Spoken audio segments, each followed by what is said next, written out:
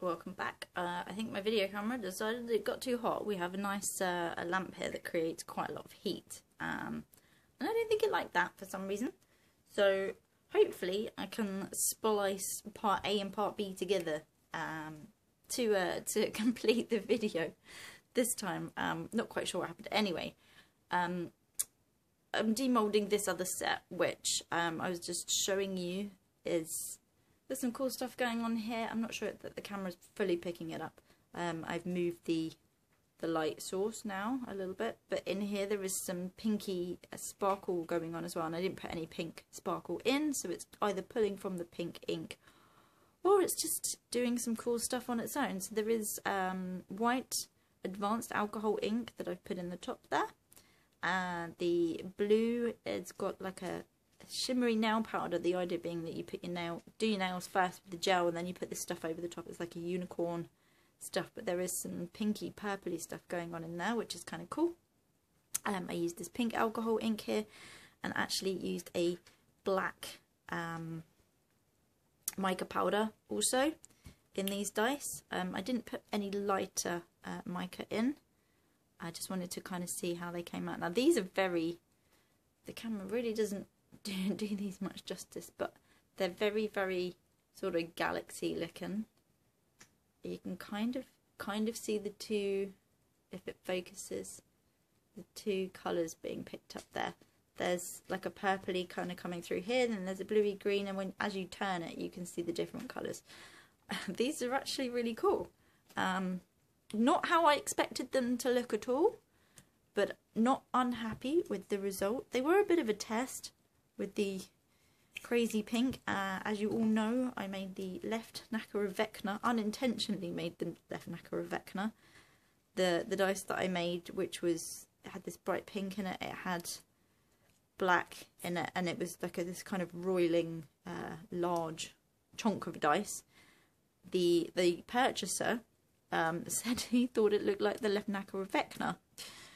Um, so there was a bit of a running joke anyway. Eventually, I said to him, "You keep talking about this dice. Did you? Was it one that you wanted to buy then?" And he he agreed. Actually, it was one he wanted to buy, so he did.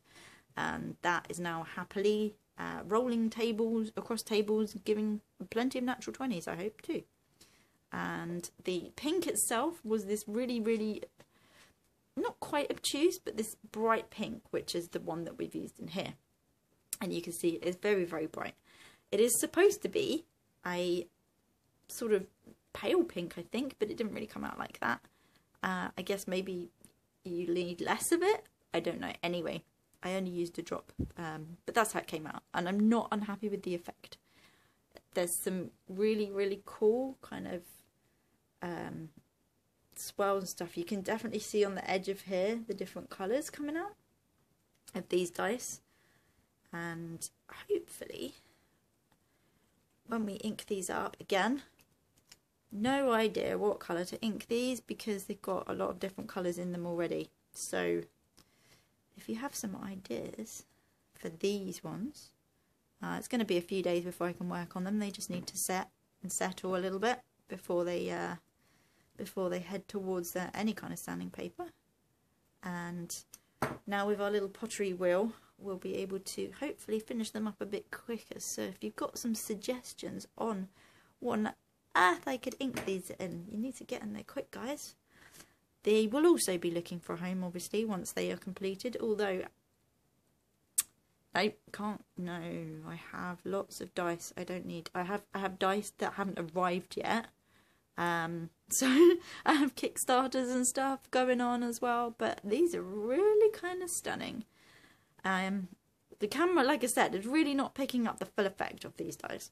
So let's just plonk them all in my hand here and show you guys. They're just so pretty. Um, the pink is not overpowering at all. There's just sort of hints of it and lots and lots of sparkle. They look a bit dark blue to me on this camera, but actually I think if we can get some pictures of them in natural light, she says, looking out the window at the fog that seems to be everywhere here in the lovely UK. But um, if I can get some, I should be able to get some great pictures of these. These these look amazing with the light coming through them now. So hopefully outside in some lovely natural light, they'll look really, really cool. So anyway, that's what we've got. I will plonk this, yeah, like a little pot down and place them on here and you can have a little look again. So, um, I'm going to stitch this video to the last video, hopefully, and we won't end up with two. If we end up with two, never mind. So, thank you to all my subscribers uh, for watching me and supporting me this year with my um, crazy YouTube channel where I ramble about demolding dice and all the lovely, lovely things that I've been working on. Uh, not just dice, uh, other things such as this type of thing. Um, and coming with me on this exploration journey, we'll call it, where I have found out how to how to do things, little not shortcuts, but easier ways of doing things, and you know, colours that work, colours that don't work, some great techniques. And I found a lot of uh, other YouTube channels that uh, talk about how to make certain styles of dice. Um, I found a really great one um, that talked about how to make Petri style dice and how to uh, sand your masters. I mean, she takes you through it step by step. It was really, really incredible. Um, and I will leave you a link to her in the description of this video because I really felt like I connected um, with the uh, with the lady there, and she was she was talking in a language I could understand. You know, the oopsies were still in there; they weren't all removed and edited out.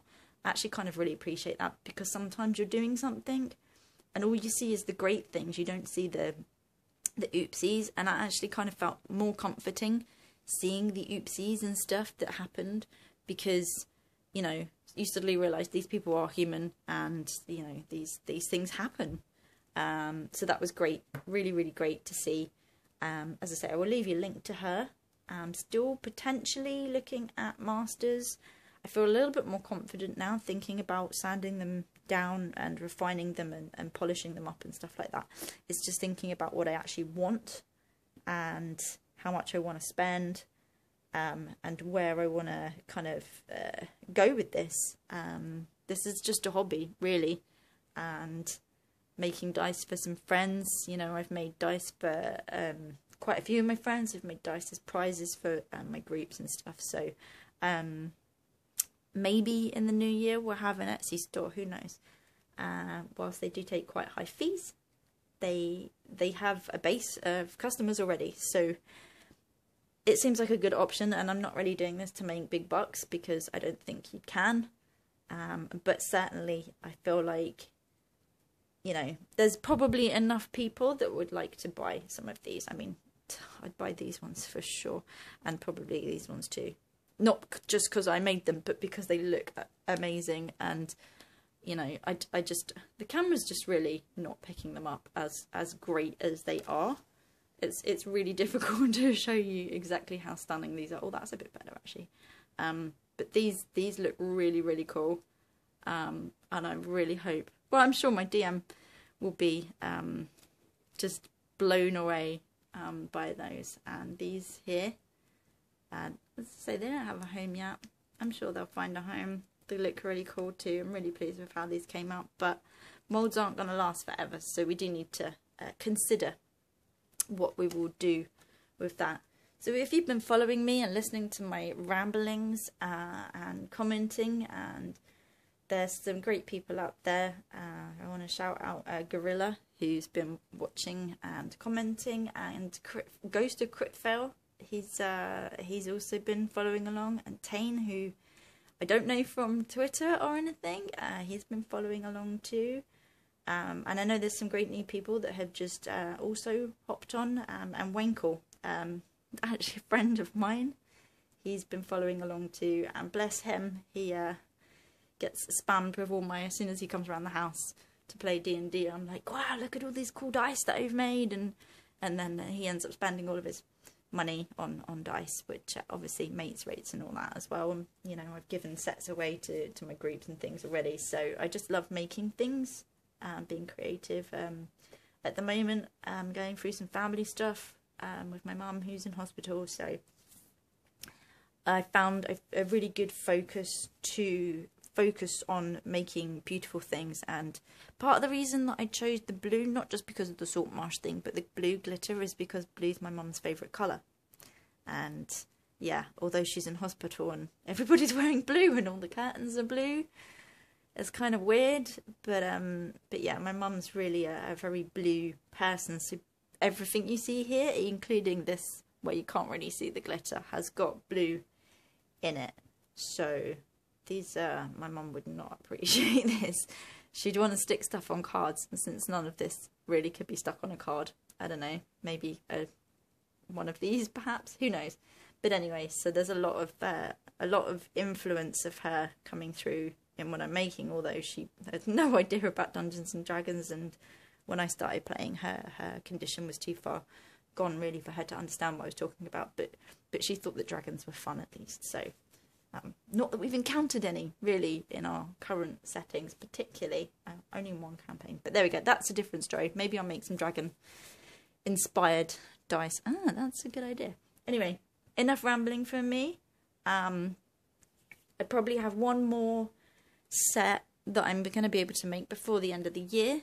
Um, I don't know what those are going to be like. Uh, my son is coming over to hang and make some stuff, so I guess they will be inspired by whatever whatever's going in my, on in my head at that point, and we will see how those turn out. So we might get one more video in before the end of the year, but if I don't make it before the end of the year, I wish you guys all the very, very best for the winter solstice and I hope that your crafts and your dice making and anything that you choose to follow, anything that you choose to do is successful. And I'm sure you'll all be great. I love you all very, very much, and thank you so much for following and subscribing. It really, really does mean a lot to me um, that you guys would bear with me through this. And if you've made it to the end of this video with me rambling all this time, special, special thanks to you. You guys are great. And uh, take care, and I will see you guys very, very soon. Cheers. Bye bye.